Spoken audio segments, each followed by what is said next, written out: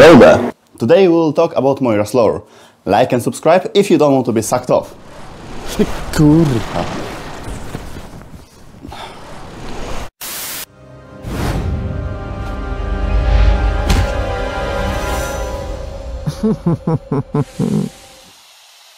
Moira Deoraine is a brilliant geneticist from Ireland. She has always been on the cutting edge of genetic engineering, searching for a way to rewrite the DNA, something that has not been achieved before. Her goal may have been good overall. Modifying DNA would allow to cure many diseases, but her methods were questionable. She never allowed ethics to stop her pursuit of breakthroughs. She not only inflicted suffering to her test subjects, but even found pleasure in it. Moira was so determined that she even experimented on herself. That explains the color of her eyes, as well as the condition of her right arm. Over a decade ago, she published a controversial paper detailing her genetic programs that could alter DNA at the cellular level. When the scientific community found out about the ethical shortfalls of her research, she received a lot of pushback, and Overwatch got even involved to silence her by forcing her to abandon this research. At this point, Overwatch was already an established worldwide peacekeeping task force, but even they sometimes had to do some things in secret to not ruin their perception by the public. That's why the Black Ops division was formed within the organization. The man responsible for its creation was Gerard Lacroix. He also used to be Widowmaker's husband. Blackwatch was commanded by Gabriel Reyes. He saw potential in Moira and decided to recruit her. Moira's employment was kept as a closely guarded secret. Even most of the Overwatch officials didn't know about it. Gabriel Reyes agreed to take part in her experiments, which caused his cells to decay and regenerate at hyper-accelerated rate. That's where he got his superpowers from. The Talon organization already existed at this point and has attacked numerous Overwatch facilities. In response to the attacks, the Blackwatch division was tasked with tracking down those who are responsible. The Italian businessman Antonio Bartalotti was involved in the mentioned bombings. Antonio was also involved in weapons trade on a massive scale in Europe. He was under surveillance by Blackwatch for some time, but now they were ordered to apprehend him. Antonio operated from Venice in Italy. Moira, along with Reyes, Cassidy and Genji, have infiltrated Antonio's compound under the cover of the night. Kinda weird. Why would they send a scientist on a mission like that? I mean, she's more than capable of fighting, so yeah, whatever. Anyhow, they killed down troopers guarding the place and confronted Antonio. However, he wasn't intimidated by them at all. He knew that kidnapping a respected businessman such as himself would be a pure nightmare. And even then, he was so well connected that he would be freed again in a matter of days. Reyes acknowledged that he is actually right, and imprisoning him won't stop him. Then blasted his face out with one of his shotguns. The shot alarmed all Talon troopers in the area, so the mission turned into a full-out shootout. Despite numerous Talon reinforcements, the team managed to find their way back to the evac zone. In the following days, the world found out about the Antonio's death and the existence of Blackwatch. The fact that the blacklisted scientist was involved also didn't help Overwatch's PR situation.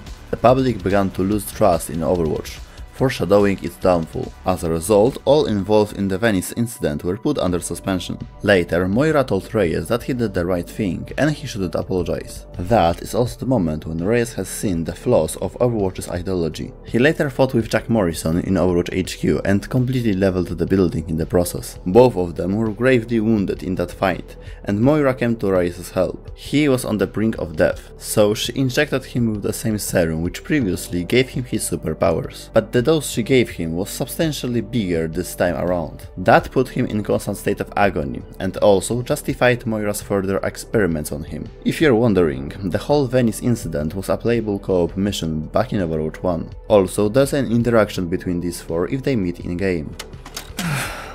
What a nauseating bout of deja vu. Yep, working with you has always made me sick. Are you planning to whine the whole time? Again?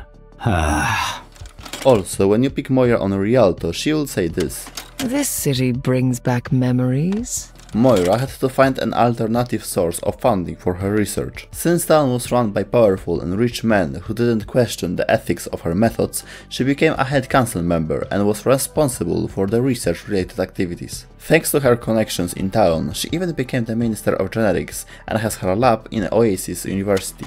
I have yet to see a report on your latest experiment. It's making progress. Our timeline is non negotiable.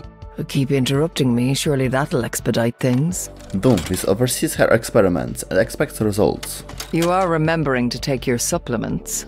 Look at these guns and ask me again. She also looks after Mauga's cybernetic implants. You've been distant lately, Lacroix. By your design. Pondering anything unusual? Dangerous? No, never. You could say that Moira created Widowmaker. She has put her through extensive brainwashing to get rid of her emotions, and lowered her heart rate, which improved her aim and resulted in her skin turning blue. Is there nothing you can do for this pain? Think of it as fuel beneath the flames of your vengeance. Hmm. Reaper's superpowers are simultaneously his curse. You've been rather quiet today, Doctor. I've gotten a lot done. If one built a violin of Planck length, could one play music into another universe? There it goes. Despite sharing an interest in science, Moira is often annoyed by Sigma's enigmatic quotes. You and Jefe need to stop frying Sigma's brain. I'm trying to help your little friend. And yourself.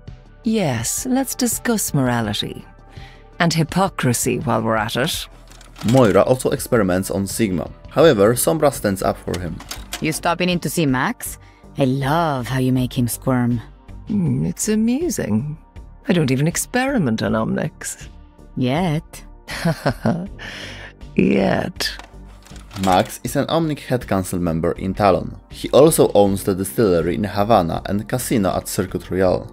She also has some interactions with other characters that are worth mentioning. Hey there, Moira. How have you been? Busier than you, I'd assume. I missed you too. You look great, by the way. Same saccharine tongue. Same empty head. Despite having a history, she's clearly not fond of him. I could have rebuilt you without all that metal. And left me a monster. Like other creations? That is a matter of perspective. God knows what Genji would have looked like if he wasn't rescued by Mercy. You looking for a lab assistant? I'm great with chemicals. Certainly. We would begin by testing your tolerance for pain. Uh, what's pain have to do with science? Everything, my strange little friend.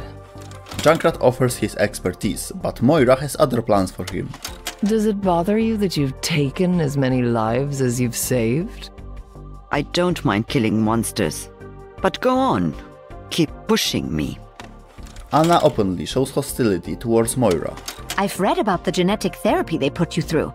It sounds unpleasant. It was. But ignorance was worse. Don't bother. Reason is lost on her. Moira mocks Mercy's sympathy for Hammond.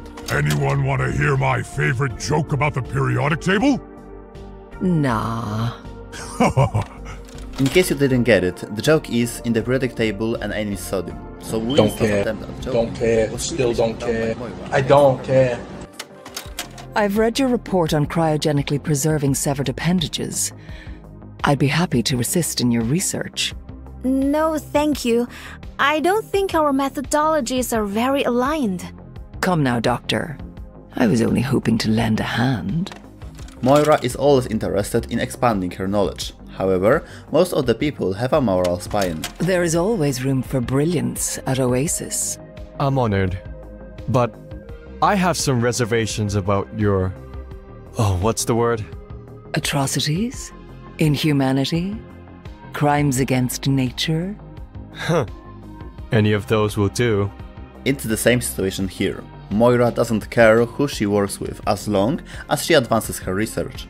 What is your fascination with artificial decay? Well, to reverse entropy, we must tame it. But inflicting it on yourself. You're withering away. I've always thrived under a deadline. He probably references the appearance of her right arm. So I'm trying to ask everybody this. What is your favorite animal? Scolopendra gigantea. Uh, yeah, I can see it. Well, at least we know her favorite animal is a Scolopendra gigantea. So from these interactions we can say that most of the characters don't like Moira because of her cruel experiments. Besides that, she always comes off as pretty mean, so no wonder no one likes her. And as far as Moira's involvement in the major events goes, she was in the background for the most part. Thanks to her experiments, we have Reaper and Widow. But outside of that, we don't know much about her. And I mean sure, she was in the Blackwatch and so on, but other than that, we don't know much about what she has been doing. Other than her origin story video, Retribution event and two comic books, we don't really see her anywhere else. Comic books and animations usually show more action-oriented stories, so it makes sense that a scientist is not involved. Also, since Moira's experiments are kept in secret, it kind of makes sense that we don't know much about her. And here's some trivia that I found interesting. Moira's first appearance was in the Doomfist Masquerade comic book. Back in 2017, in the days leading up to Moira's reveal, her research paper was added to the Oasis University map. Additionally, Sombra and Reaper had an interaction hinting at Moira's announcement. So what are we doing here, boss? I need to pay a visit to a friend. Moira and D.Va are the only heroes in the game that can perform quick melee using both hands. When you compare Moira's default skin from Overwatch 1 and 2, you can see that the gullification of her right hand has actually progressed with time. In Moira's early concepts, she had a cannon or tentacles instead of her hand spray she has today. Moira's Fade ability shows striking resemblance to the one Reaper has which makes perfect sense since both were achieved thanks to her research.